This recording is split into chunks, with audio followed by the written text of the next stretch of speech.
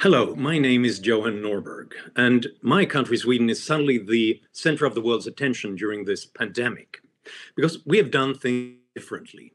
In a world that closes borders and shuts down societies, Sweden seems suddenly like the last open society.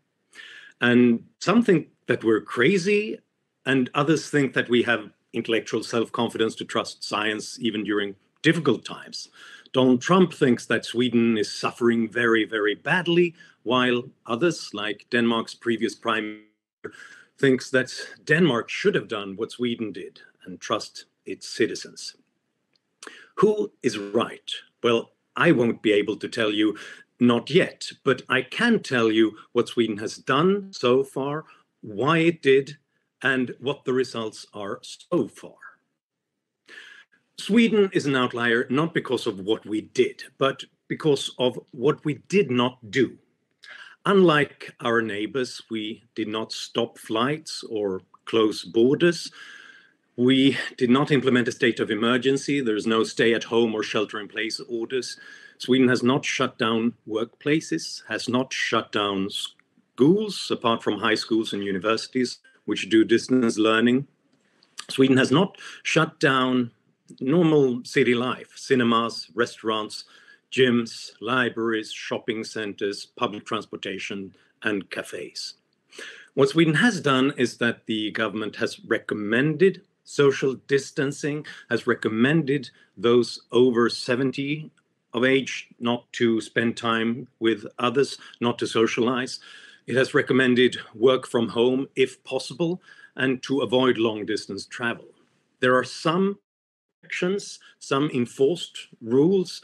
Uh, no public events with 50 or more people can take place. No concerts or theaters and, and the like, uh, like that.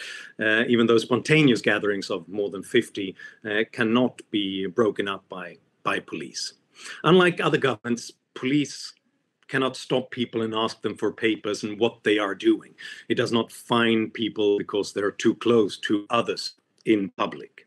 As the Swedish Social Democratic Prime Minister has said, we have to take responsibility as individuals. We can't ban all harmful behavior. It's not a matter of law, but of common sense and individual responsibility. So suddenly, the Social Democratic Prime Minister sounds a little bit like a libertarian. And why is that? It's not because Swedes are all libertarians, no matter what you might have heard.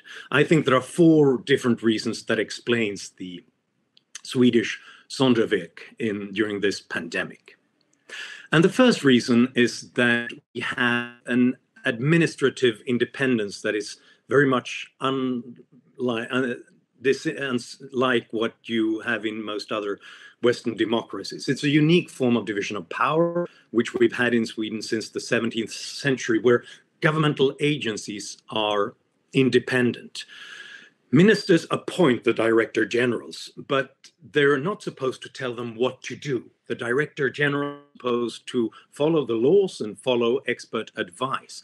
And then the government is obviously free to take or not take that advice, but that has created a strong uh, tendency to listen to the agencies and follow their recommendations rather than um, going their own political way. And unlike other countries, that means that there's less space for political grandstanding, less room for uh, political uh, discretionary, arbitrary decisions during times of crisis. In fact, what Sweden has done so far follows the policies drawn up by many other health agencies around the world. It's just that they were overruled by politicians in other countries. And so far, that has not happened in Sweden. Uh, for example, in Denmark, the government suddenly decided to close Denmark's borders. And then the public health agency said that there's no scientific reason to do this. This is a political decision. Well, so far, political decisions like that have not been taken in Sweden. We followed the advice of the public health agency. Reason number two is Sweden's interpretation of the Hippocratic Oath. First, do no harm. um, specifically do no harm by shutting down society and the economy when we don't know that that would for certain have a better health outcome. Sweden is a very trade dependent country and we suffer tremendously. Our exports industries suffer tremendously when other countries shut down its economy and then it seems reasonable not to hurt it even more by also shutting down domestic industries and the service industry. For a restaurant or a service industry, for a shop, losing 50% or 75% of your revenue is bad, but it's not as bad as losing 100%. We have a social democratic party in Sweden and trade unions that are pragmatic, often looking at the needs of the economy they know it's important for our jobs, for our future incomes, and for the health of the welfare state in the long run. Uh, the prime minister is a former trade union boss. He used to be head of the Swedish metal workers, and he's always been very concerned with the long term health of the economy.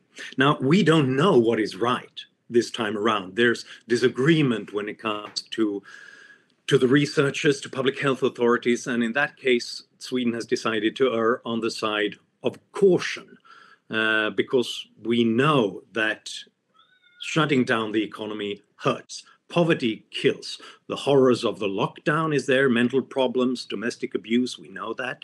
The horrors of unemployment and the risk of deaths of despair in the time of a deep economic crisis, but also long term. Uh, poverty means less investment in, in drugs, in medical technology, less healthcare spending in the future. And Sweden has decided that we can't defeat the disease by killing the patient. Reason number three is that Sweden, the Swedish government thinks that it can accomplish some of the benefits of a lockdown without a lockdown.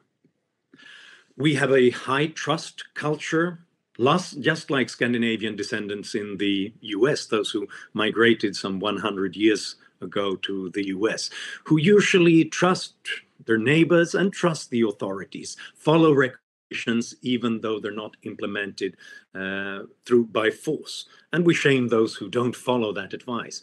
And it, that seems to be working in Sweden to a large extent. You might have seen pictures of people socializing at restaurants and in bars in Stockholm.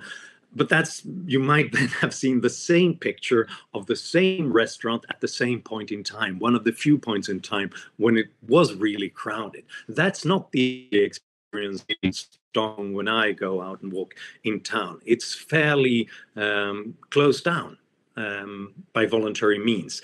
People are not out on town. They're not in crowding in bars and restaurants and cafes. An analysis of mobile location data points to a decline of 90% of long, ter- ter- uh, long distance travel in Sweden during the Eastern holiday. A dramatic change. 90% is not 1%, uh, and that is the difference. It gives more freedom for local information and for individual needs. And that might mean that it is more sustainable in the long run because people can abide by it and make exceptions when they really, really need to make an exception. Whereas in other countries where people are forced to follow the quarantine, after a while they might just begin to break it because it's impossible to hold it when there are no exceptions. Most Swedes abide by it anyway, not everybody, but it doesn't take everybody. For the fourth reason, reason number four, is that the only way to beat the virus long term is immunity. We are trying in Sweden to slow the virus down, to protect the healthcare system and to protect vulnerable groups, but not to suppress, suppress it. Other countries are locking down, but in that case, they will probably see a second wave and a third wave when they begin to open up, and they might have to shut down again and go back and forth, and thereby ruining societies, destroying the economy. In Sweden, it seems like the decision is that if it passes slowly through the population, we will have some sort of herd immunity in a few months. Uh, we allow vulnerable groups then to reconnect, and we can get society working again. And then Sweden is in a position to send doctors and ventilators to places that are more vulnerable in, in that situation compared to others who might need new lockdowns and might not be able to even open borders before we have a vaccine because they will always see new cases imported from other places. According to one Harvard study, a 60% suppression of the coronavirus is worse than a just a 40% or a 20% uh, slowdown of the virus because it creates a higher peak later on and more cases in total. Now, we don't know if that will be the result. Nobody knows. It depends on what we put into these models, but that is the decision that Swedish authorities have made. So, those are the four reasons for Sweden's policy. And it has to be pointed out that those policies might change. There is pressure for a more restrictive policy from some loud voices in society. And interestingly, the most frequent argument is that every other country has chosen another policy. So why should we stand alone? Which seems like the argument from herd mentality rather than herd immunity. But so far, Sweden seems to be accepting these policies uh, broadly. There might be a 50 50 split, uh, but the ruling Social Democrats just jumped by a monthly record of seven percentage point in the last poll from 24% to 31%. So it seems like um, is broadly rewarding them for this more cautious policy. Obviously, the opinion can shift at any point in time, and only time will tell. My personal point of view I'm not an epidemiologist. I can't even pronounce the word. Um, it seems like uh, I'm, I'm, obviously not an expert when it comes to these issues, but so far I'm broadly sympathetic to the Swedish model. Uh, restricting freedoms might be necessary during pandemics, but only when we have good reasons to assume that this will help us when it comes to our long term health. And when we don't know, I think to what we do know. As John Stuart once put it, in every instance, the burden of making out a strong case lies not on those who resist, but on those who recommend government interference. So, how are we doing so far? Is there a strong case against the Swedish model? And the simple answer is that we don't know yet, partly because it takes a long time to evaluate, partly because there are lies, damn lies, and COVID 19 statistics for example, there are so many numbers and charts uh, in, in, everywhere right now, and they try some try to explain that Sweden is a huge, ter- a terrible, horrible example of how we suffer because of this. Some try to explain that this is the role model for others, uh, and I wouldn't pay too much attention to any of them so far. For example, mortality rate as a percentage of cases is not a meaningful statistic if some test everybody or almost everybody, like South Korea or Germany is getting close to, and some restrict tests to health personnel, then we will obviously see more death, uh, higher death rates in countries that don't test as many. Sweden. Total death rates as a percentage of the population per capita is more reasonable, but there are many problems with those statistics as well. You might have seen different charts where Sweden is doing great or horrible depending on which country you compare it to. All is dependent on the compare. looks bad compared to Denmark and especially Norway, a country many uh, many points to as a as a role model, but it looks great compared to France, Belgium, the Netherlands, and Britain. It looks bad compared to the United States, but Sweden looks much better compared to New York State, which is more similar in population and is at a similar stage of the spread. The truth is that Sweden is somewhere in the middle. And the problem is also that we count deaths differently. Some countries do not count deaths outside of hospitals. When people die of the coronavirus at home or in nursing homes, they're just not included in statistics. Whereas in Stockholm, 42% of deaths have taken place in nursing homes, and many countries do not count those deaths in statistics. In Sweden, we constantly check the list of people infected of the coronavirus against the population register and total deaths. So everyone who died and had the virus is counted. Whereas in a country like Norway, where you've seen statistically at least many, many fewer deaths than Sweden, deaths are only counted as deaths deaths from the coronavirus if a doctor concludes that the virus killed the person in question and they then report this to the country's public health authority however i think that no matter how we count we have more deaths per capita than our nordic neighbors in sweden more than norway finland denmark but that is obvious because they've tried to suppress the virus through a lockdown by forcing people to stay at home. And in that case, they are going to see a second wave once they open up their societies, which they are they are doing now. So they might get these deaths, but without getting the immunity. So we just have to wait for the data for the evaluation, and it will take months before we have any reasonable way of assessing the different models. What is interesting in the Swedish case and what we can say so far is that there is no indication that most of those who have died would not have died anyway. Because they have not died because the healthcare system was overwhelmed during this period and we had a lack of care or ventilators. We still have a 20% excess capacity in Sweden of intensive care unit, uh, 20% um, of beds, of intensive care beds, are unoccupied at the moment. It was in the next few weeks, nobody knows. It's too early to tell, but at least it seems like Sweden and definitely Stockholm, which is ahead of the curve, is starting to stabilize. New patients admitted to intensive care has been stable in uh, Stockholm since March 23rd, and in Sweden in total since March 23rd until April 15th, uh, when I record this. And the um, average age of has been 81 years, and that's close to Sweden's average life expectancy.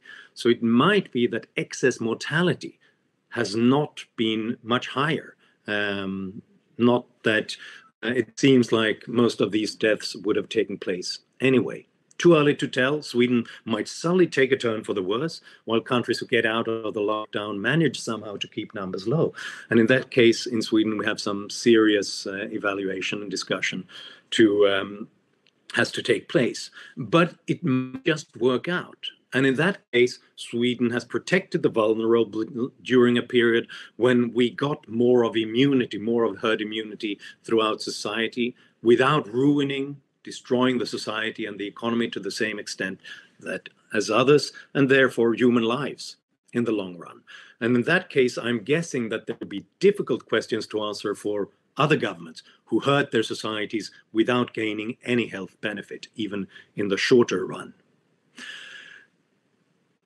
I don't know what's going to happen, but I will just leave you with this thought. The coronavirus was a wake up call.